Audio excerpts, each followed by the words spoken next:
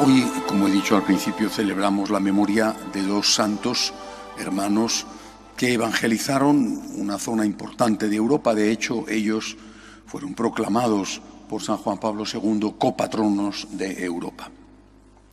Son dos evangelizadores que tuvieron que afrontar muchas dificultades. ¿Por qué aquellos otros, por qué evangelizaron? ¿Por qué? ¿Por qué motivo se arriesgaron a perder la vida y muchos la perdieron? ¿Por qué pasaron penalidades? ¿Qué tenían dentro que les empujaba a hacer aquello? Por un lado, seguro, ante todo, el amor a Jesús, el amor al Señor y la obediencia al Señor que había dicho, id y predicad, id y evangelizad. Lo acabo lo acabamos de escuchar en este Evangelio, poneos en camino, id a evangelizar. No tardéis, no os entretengáis en el camino. Pero junto a este mandamiento del Señor había otra cosa. El convencimiento personal, por su propia experiencia, de que lo que ellos tenían era superior a lo que tenían los demás. Eh, Cirilo y Metodio, los evangelizadores eh, españoles que recorrieron toda América en medio de enormes dificultades, ellos no estaban predicando a gente sin Dios. Los pueblos eslavos, lo mismo que los aztecas o los incas, tenían sus dioses, era gente creyente. Podían, por lo tanto, haber sido eh, haber seguido siendo creyentes en la, yo que sé, en la serpiente emplumada. Eh, podían haber sido eh, creyentes de, de esos dioses que tenían. ¿Por qué evangelizar a gente que ya tiene su Dios?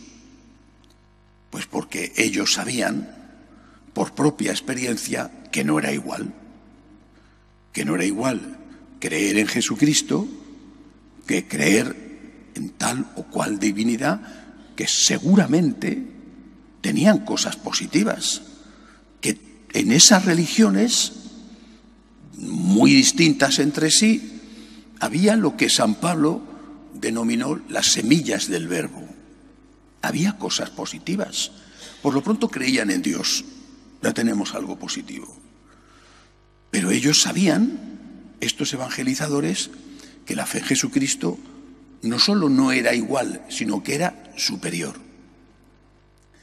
Que no es igual creer en el Hijo de Dios hecho hombre, que muere por el hombre y que nos enseña a amar incluso al enemigo, que creer en otros dioses que son falsos y que además tienen una teología y una antropología que en muchos aspectos es dañina para el hombre o dañina para la mujer o dañina para las relaciones sociales.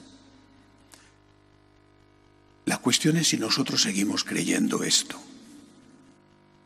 Seguimos creyendo que en la religión católica está la plenitud de la verdad. O estamos contagiados, porque hay muchos también entre nosotros, que están contagiados de la idea de que cualquier religión vale para salvarse, que son iguales todas. Pues si son iguales todas, ¿para qué te vas a complicar la vida? Pero si son iguales todas, y lo mismo vale una que vale la otra, ¿para qué vas a dejar tu casa, tus comodidades, para irte a un sitio donde no solamente probablemente vas a tener un nivel de vida inferior, sino vas a pasar peligros, incluso puedes enfrentarte con el martirio. ¿Pero para qué? Y esto no solamente los evangelizadores como Cirilo y Metodio o como los sacerdotes y religiosos españoles que se recorrieron toda América. También los primeros evangelizadores, los apóstoles. Los apóstoles y estos que hemos escuchado hoy en el Evangelio iban a predicar a gente que creía en Dios. Los de hoy que hemos escuchado eran predicaban a judíos que creían en el verdadero Dios. Y los otros, pues predicaban en medio de los griegos, en medio de los romanos, los que se fueron hacia el este, en medio de los persas, los que llegaron a la India.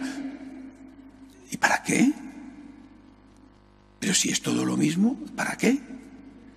Esta es una pregunta que está sin contestar. ¿No será que no es todo lo mismo? Es decir, si nuestro Señor se hace hombre siendo Dios para enseñarnos un camino que nos conduzca hacia el cielo y hacia la felicidad en la tierra, pues es que o ha venido a hacer turismo porque podía haberse ahorrado el viaje, o ha venido a hacer algo que es tan importante, que manda a aquellos que lo transmitan a los demás.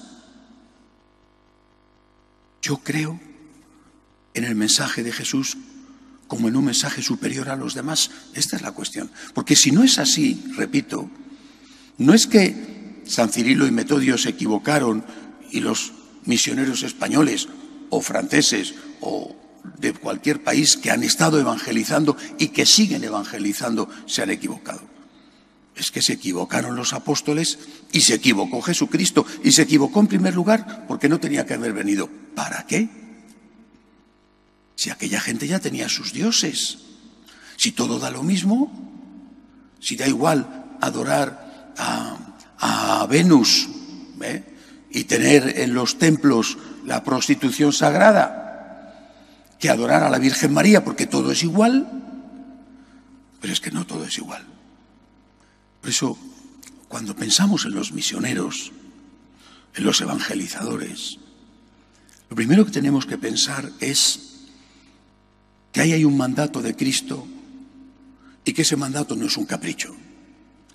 El Señor nos da algo que los demás no tienen y eso no significa que los demás no tengan nada. Tienen y algunos es posible que tengan mucho, pero no lo tienen todo. Solo Jesús es Dios y solo Jesús nos trae la plenitud de la verdad. Y solo con Jesús podemos llegar de la forma más segura posible al cielo. Y solo con Jesús y viviendo como Él nos enseña, podemos encontrar de la forma más segura posible la felicidad en la tierra. Por eso tiene sentido todo.